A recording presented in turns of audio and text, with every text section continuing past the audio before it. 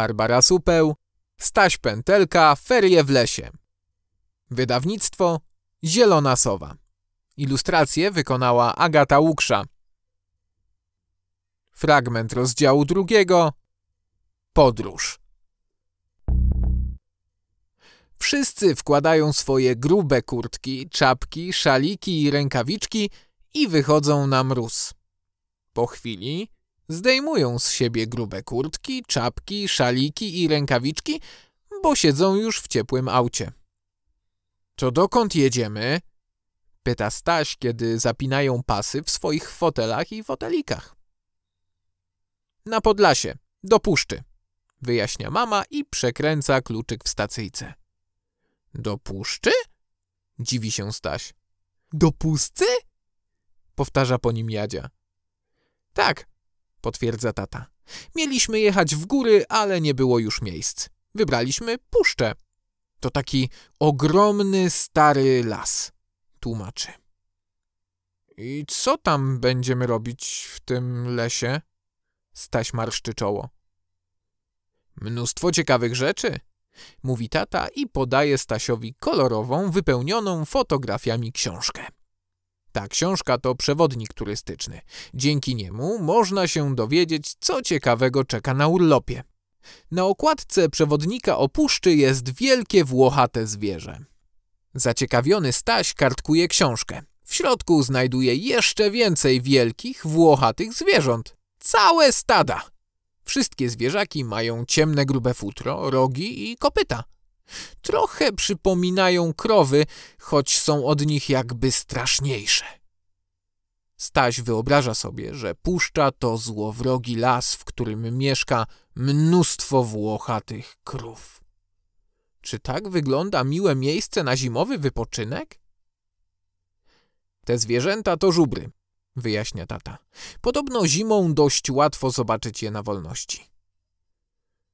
Pan gospodarz opowiadał, że ostatnio widział je z okna, dodaje podekscytowana mama.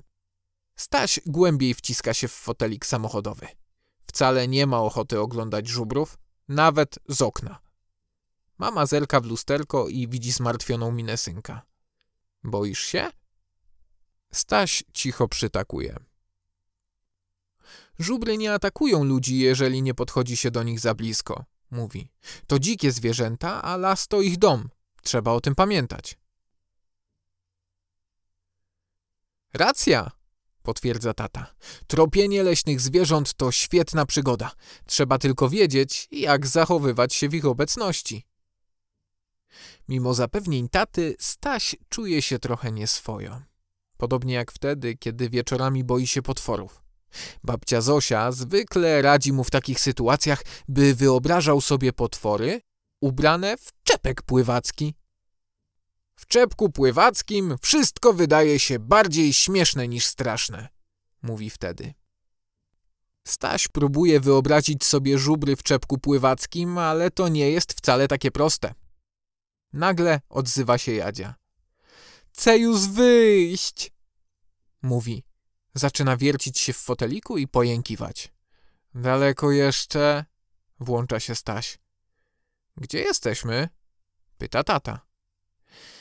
Nie jestem pewna, chyba jeszcze przed Brańskiem, mówi mama i zerka na GPS. A nie, jednak już za. Jeszcze około godzina drogi. Godzina? Jęczy rozczarowany Staś. To strasznie długo. Nie możemy jechać szybciej? Nie możemy, odpowiada mama. Na drodze leży śnieg. Jest bardzo ślisko. Zniecierpliwiony pies pirat zaczyna piszczeć. Jadzia układa usta w podkówkę. Zaraz wybuchnie płaczem. Całe szczęście tata w porę ratuje sytuację. Wyciąga z torby przekąski.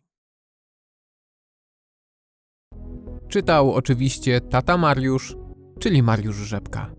Jeśli podoba Ci się to, co robię, wpisz w Google krzyżyk tata Mariusz i wybierz najwygodniejszą ścieżkę do pozostania na bieżąco.